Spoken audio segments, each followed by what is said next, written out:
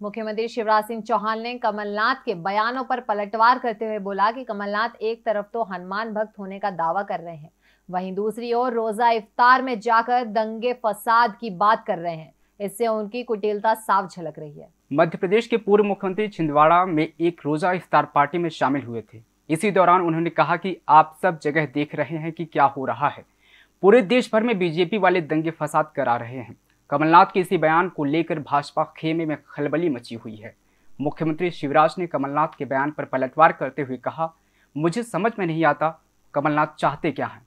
एक तरफ़ वह हनुमान भक्त होने का प्रचार करवाते हैं तो वहीं दूसरी तरफ़ रोज़ा इफ्तार पार्टी में जाकर दंगे फसाद की बात करते हैं। इससे उनकी चालाकी साफ़ ज़ाहिर हो रही है। मुख्यमंत्री चौहान ने कहा, मध्य प्रदेश इस समय शांति का टापू है। मध्य प्रदेश में कहाँ दंगे हो रहे हैं? कमलनाथ ऐसी बातें करके राजनीतिक वोट पाना चाहते हैं। मैं इसकी निंदा करता हूँ। अब मुझे समझ में नहीं आता। एक तरफ़ वो हनुमान भक्त होने का प्रचार करवाते हैं और दूसरी तरफ़ वो रोज अफ्तार में जाके दंगे फसाद की बात करके क्या कहना चाहते हैं? कि इस नाम पे सबको इकट्ठा करके और उनके वोट प्राप्त करने वो रोज अफ्तार में गए थे। स्तरीन और घटिया राजनीति। डर दिखाओ वोट पाओ। मध्य प्रदेश शांति का टापू है इस समय।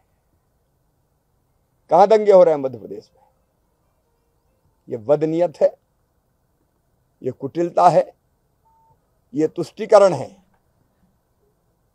जो करके कमलनाथ वोट हासिल करना चाह रहे हैं मैं इसकी निंदा करता हूँ। वो खबरें जो आपके काम की है। वो खबरें जो आपके लिए ज़रूरी है। हर आम और खास से जुड़े मसले। हर मसले का सटीक विश्लेषण। हम करते हैं सत्य का अन्वेषण।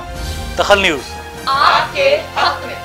आप देख रहे हैं दखल न्यूज़